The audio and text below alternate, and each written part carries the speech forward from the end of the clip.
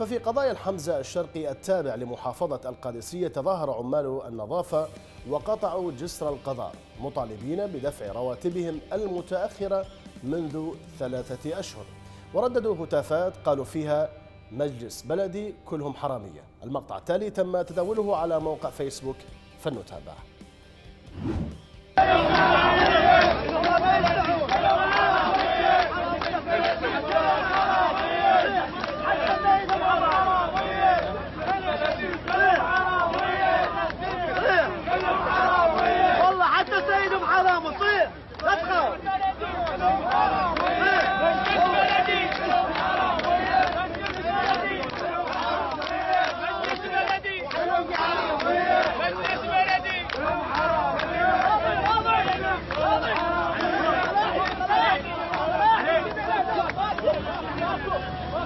بيسموها بيسموها